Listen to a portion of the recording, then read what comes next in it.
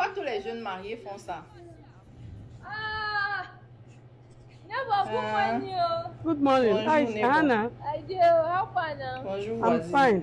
How you doing? Uh, Wetin you wan do? Dis I don't see him. J'ai vu maman. you fine though? Oh, la femme d'autrui. J'ai vu. Hey, Thank ah, thank God. Ouais. You fine. Hey, Come put that over your head. You don't need lève la that. main sur la tête, pardon, on a vu. Congratulations, Comment tu as? I tell you, maman, c'est Hey, grave. Ça dit que non. Il faut avoir déjà été marié ou fiancé pour savoir.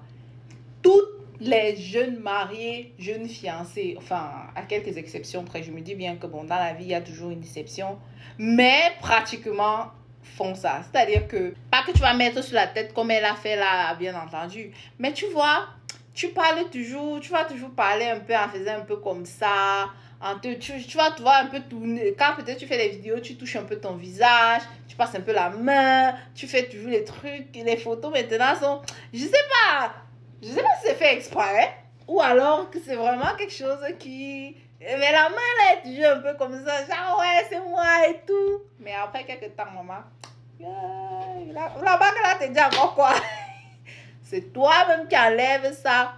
Tu prétextes que quelque chose s'est passé et tu deviens plus célibataire que les vrais célibataires. C'est-à-dire que tu es encore sur le marché, plus que même ceux qui sont sur le marché, on comprend plus rien. ouais, ça va trop faire rire. bon, je ne veux pas voir les gens qui vont venir me poser des questions. Tu as été fiancé, tu as été marié. Ça vous regarde. Vous avez compris, non? Oui, voilà.